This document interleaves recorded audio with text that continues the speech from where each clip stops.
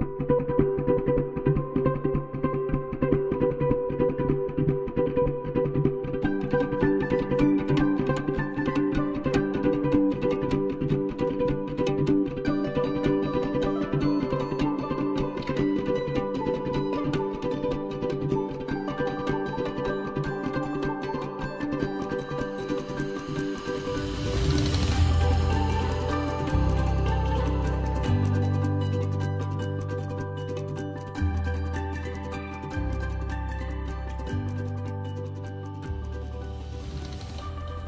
guys and what's up neighbors? Welcome back to my YouTube channel at kung first time mo palang po sa channel na ito, mag-subscribe ka na po at i-click ang notification bell nang sabihin na magiging updated ka sa mga bawat upload ko na video. Sa vlog na ito guys, pag-uusapan natin kung paano mag-avail ng condo unit. Karamihan kasi sa ating mga Pilipino guys, hindi pa masyado alam kung paano nga ba yung process, kung paano bumili ng condo unit or kahit anong property. Kaya naisipan ko guys na gumawa ng video na ito para malaman nyo yung actual process kung paano nga ba bumili. Kaya siguraduhin mo lang guys na tumutok sa video na ito hanggang dulo para malaman mo yung step by step process kung paano bumili ng condo unit. So, bakit nga ba gusto mong bumili ng condo unit? Dahil gusto mo ba ng next level personal lifestyle? Yung upgrade sa comfort at security? Yung sarili mong swimming pool amenity? Or dahil gusto mong maghanap ng regular passive income?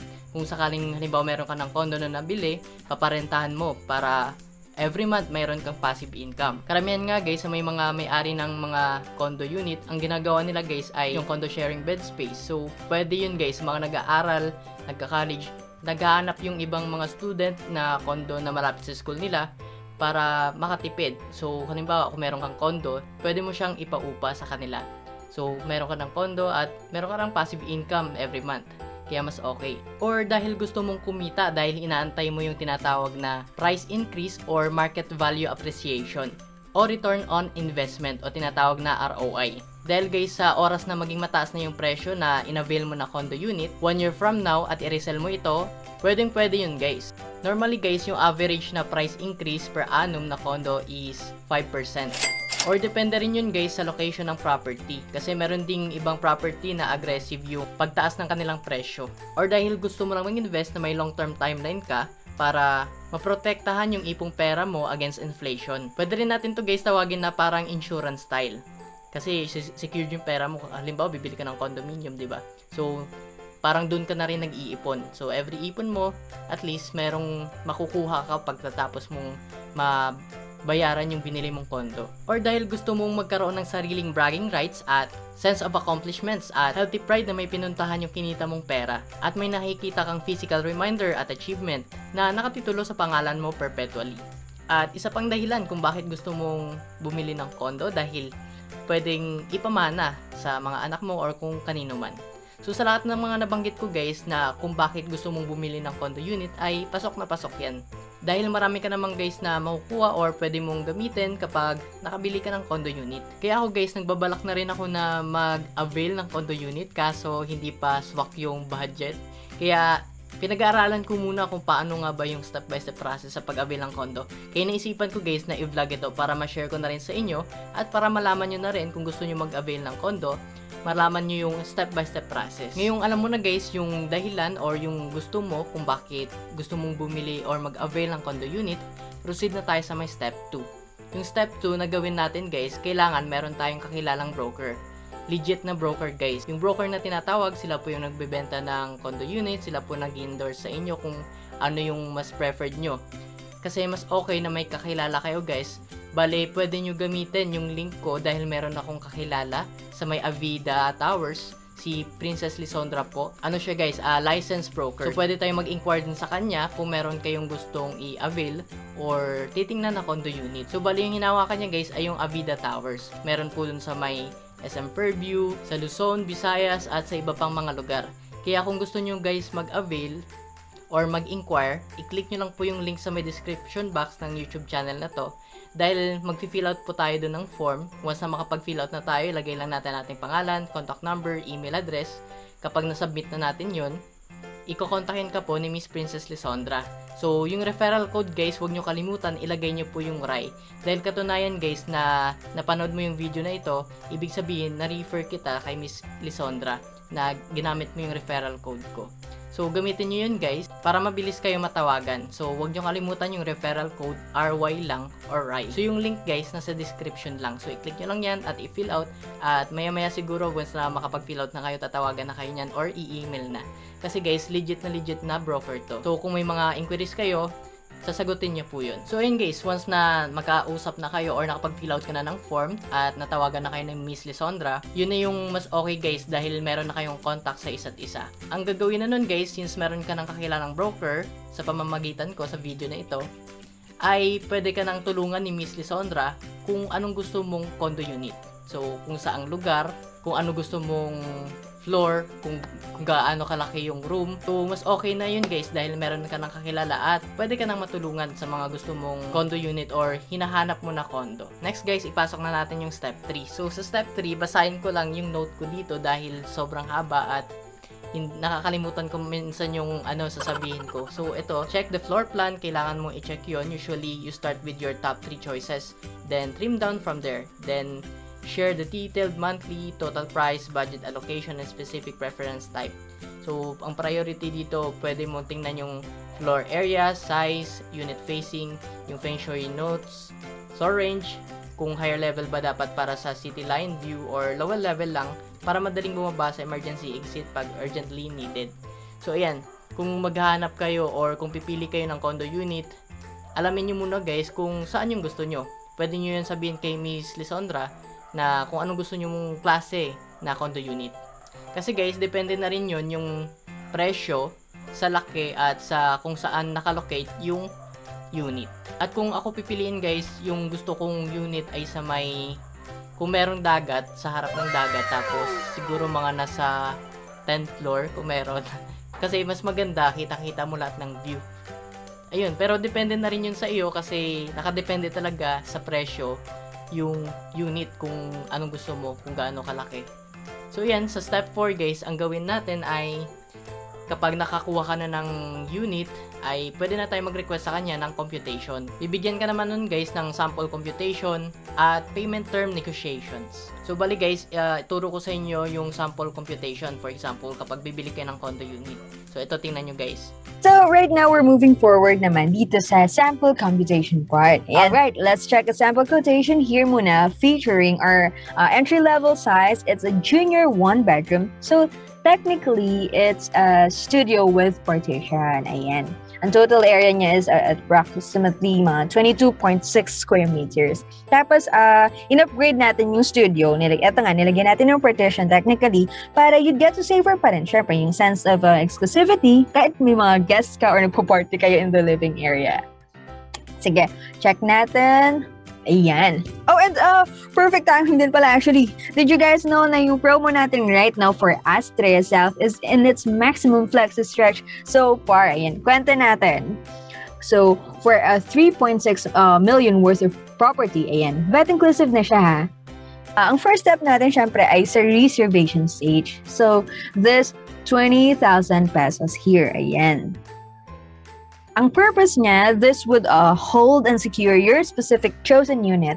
Halimbawa, dito sa sample natin, this is Tower 2 Unit 309 na nasa third floor. Here, ayan. So that 20k would uh, serve as a, parang mapupull out niya from the market yung unit and it's gonna be exclusively under your name na. Tapos, after that, let's count 20 days from your reservation date. Halimbawa, uh, you've reserved a unit nitong October 5, 2021. Tapos count tayo ng mga approximately 20 days.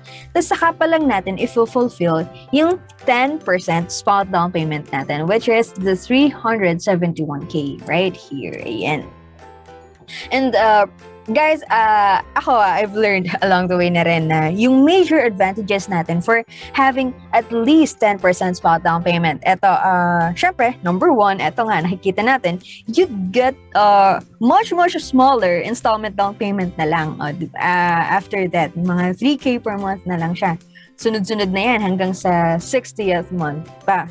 Tapos, uh, also, uh, if you get, uh, if you have a 10% spot down payment, magiging ano ka rin, eligible to reap out the all-in and maxed out booking discount natin. Etong nasa taas. Yan, yung 100k. O, imagine ah, So, third reason for having uh, at least a 10% spot down payment, syempre may extra perk tayo dyan. This would give your account uh, parang better leverage eh. I've uh, realized this. Mas ano ba, mas poging tignan, ika nga nila, pagdating dun sa bank loan stage later on. Kasi para magiging on the side credit siya, it would reflect uh, uh, something good for you as an investor sa mata ng bangko. Yun.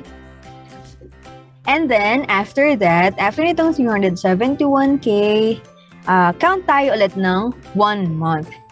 So, yun. Uh, magsisimula na yung 3K per month natin. Tapos, nakastretch na siya in 60 months. So, imagine na, 3K lang yan, guys. Uh, in exchange na yan for a perpetual piece of an Avida property. Uh, di ba? Hanggang November 2, 2026 dito sa example natin. Tapos, finally, after pa natin makomplete yung 60th down payment here, here, yan. Yan, uh, saka pa lang natin aasikasuhin yung natitirang 85% balance. Kasi nga, di ba, may 10% spot down payment tayo. Tapos, itong 3K per month natin in 60 months, uh, this comprise uh, 5% ng ating down payment. So, 15 in total and then yung 85% balance na 3.3 million na natitira dito, uh, you'd have ample time to prepare pa, di ba? By December 2026 pa yan. Uh, And ganun, may breathing room timeline tayo bawat sa pagitan ng bawat payments. And uh, okay, uh, I also took the liberty din para to share a sample ano lang ta, sample monthly amortization. So, halimbawa, you'd uh, get to loan the whole uh, 3.3 million. Ang ano natin diyan, magiging monthly amortization mo is at 21,000. Tapos may meet lang tayong monthly, uh, actually for the whole household na to, income requirement. And then, naka 20-year loan term siya, tapos naka-fix in 3 years, i-renew mo lang ng i-renew every now and then. Um, siguro personal uh, extra uh, tip na rin, um, bago ka dumating dito sa uh, sa 3.3 million, syempre, during all, uh, sa period nitong buong 60 months na nagbabayad ka ng down payment, pwede rin actually na makapag-ipon uh, ka on the side, say, tapyasan natin ng kahit 300k or tapyasan natin ng 1.3 million, todo natin, para lumiit na lang iloloan mo pagdating ng time na yon. Yan. And dito, pagtawid natin ng uh, last 3.2 uh, I mean, uh, 3,200 na DP natin, tapos pagpunta natin dito sa 3.3 million, eto na yon matatag na as fully paid yung ating unit. O, di ba? Ano pa bang sweeter next step after that? E di syempre, bigayan na ng susi. Yan. Happy turnover time na by December 2026. Uh, I think sakto rin siya eh sa mga completion ng mga future major uh, government infrastructures pa natin. Ako, uh, personally, nilook forward ko rin yun sa Fairview even more kasi I know it's really gonna progress pa along the way. Di ba, masasavor mo siya habang nandito pa tayo sa early stage. Uh, di ba? And it's that easy, all right? Isn't it awesome? So, for this kind of figures, uh, you'd get to savor an Avida property unit. Thank you, guys! So, yan, kapag okay na sa'yo, guys, yung computation at kayang-kaya na ibayaran, dito na tayo papasok sa my reservation stage. So, ayan, basahin ko lang. Reserve your chosen unit by filling out and signing the online reservation agreement form with your ID and 20,000 reservation fee through cash, online credit card payment, GCash, or online bank deposit. This is highly recommended as soon as possible. Ang purpose ng reservation fee guys ay para ma-pull out yung particular unit na pinili mo at matag din yon exclusively sa pangalan mo. At sa pamamagitan ng reservation guys, Ibig sabihin nito, once na okay na yung reservation mo, hindi na makukuha ng interesado pang client yung pinili mong condo unit. Kaya mas okay to guys na, for example, itong gusto-gusto mo talaga yung condo unit na to, at kapag okay na rin yung sa computation, di ba? Tapos, okay na rin yung sa reservation mo, ang mangyayari dito ay hindi na pwedeng agawin or hindi na pwedeng kunin ng iba pang may interesado na client kasi nakapagpa-reserve ka na eh. So, sa next steps guys, dito na papasok yung booking stage. Sa booking stage, kailangan mo mag-count ng 19 days from the date na nagbayad ka ng reservation fee. So, this is when you are given ample time naman to prepare the payment of the down payment stage. So, pwede mo nang i-ready yung checkbooks mo or even via auto-debit agreement or tinatawag na ADA. as ano yun guys, mode of payment. Papapirmahin ka din guys sa point na to ng assisting broker mo. For example, yung broker mo ay yung nirecommend ko sa iyo na si Miss Princess Lisondra ng iba pang basic and online hassle-free forms and documents. Parte na rin yun guys para sa official documentation purposes. Pwede ka rin guys mag-request ng receiving soft copy for mutual reference at full transparency. Sa next steps, kapag okay na yung booking stage mo, proceed na tayo sa my contract to sell. So ano po yung contract to sell na yan? So yung contract to sell, this is part of the post-booking stage na. Usually guys, yung contract to sell 3 to 4 months after booking stage. So sa next steps guys, after contract to sell, proceed na tayo sa may submission of bank guarantee. So ano naman po yung bank guarantee na yan? Yung submission of bank guarantee guys ay is after the last installment DP stage pa. So halimbawa guys, yung huling DP mo or down payment para sa installment sa pag-avail ng condo unit ay ano pa, after 48. So, pagka after 48 ng down payment mo, mag start na yung submission of bank guarantee. So ano naman guys, so ano ba yung ano submission of bank guarantee? So yung ito guys ay isang formal certificate na ini-issue ng bank na nagpapatunay na yung bank loan financing application mo ay nagiging successful at babayaran na nila yung balance sa Avida. So for example, 'di ba, kumuha ka ng unit sa may Avida. Kapag okay yung mga requirements mo sa mga steps na sinabi ko kanina, okay na yung ano mo rin, yung submission of bank guarantee, 'di ba tapos na rin yung DP mo sa down payment na installment, kapag okay yung submission ng bank guarantee mo guys, bibigyan ka ng isang formal certificate na ini-issue ng bank na nagpapatunay na yung bank loan financing sa application mo ay naging successful or approved. At babayaran na nila guys yung balance mo sa Avida. So for example, meron ka pang balance na ilang milyon pa. Yung mangyayari guys, babayaran ng bangko. Sila magbabayad at matatag ka bilang paid na sa may Avida. For example, 'di ba doon ka nag-avail ng condo unit sa may Avida. So kapag approve yung bank mo at binayaran na nila sa Avida, matatag ka na sa Avida na paid na. At sa may monthly amortization mo naman since tapos ka na sa may down payment mo for for installment, doon ka na magbabayad sa may bangko. For example, kapag napili mo si BDO or BPI. So, yun guys, kapag okay na lahat, ang mangyayari ay ano na, turnover keys. Ibig sabihin, pwede ka nang lumipat sa napili mong condo unit. So, pwede mo na siyang pagandahin. So, yun. Yun yung mga step-by-step process, guys, kung paano mag-avail ng condo unit. So, kailangan may kakilala ka talagang broker. Kaya kung gusto mo mag-avail or kung gusto mo mag-inquire, i-click mo lang yung link sa my description at i-fill out mo lang yung form na yon kagaya ng sa sample video natin kanina, ilagay mo lang yung referral code na RY or RY. Katunayan na dito, dito ka nang galing sa video na to na nag inquire ka sa kanila kasi mas legit to guys yung kakilala ko na si Princess Lisondra para ma-assist ka niya ng maayos. Pwede ka rin mag-ask ng mga questions doon at kung may preferred ka na location, bilan mo ng condo unit. Hahanapan ka nun guys. Kasi si Avida Towers, buong Pilipinas naman meron. Kaya ayun, kung gusto mo mag-inquire at kung gusto mo mag-avail ng condo unit, mag-inquire lang guys sa may link at maya maya siguro kapag nakapag-submit ka na, tatawagan ka na kaagad. Kung nga pala guys, mayroon akong i-endorse sa inyo kung ikaw ay taga San Jose del Monte or taga Rizal or kung saan man na gusto mong lumipat sa may Fairview, gusto mong malapit sa may SM, meron po doon si Avida Towers na available na condo unit. So panoorin nyo to guys, yung video na ito na itutour kayo namin ni Princess Lisondra. So ito guys, tingnan nyo sobrang ganda ng unit na to. Hello neighbors, this is Princess Sandra, the broker next door. So today my partner Ryan Magalana and I are gonna tour you here sa Fairview, Quezon City. Come on, let's explore Avida Towers, Astria.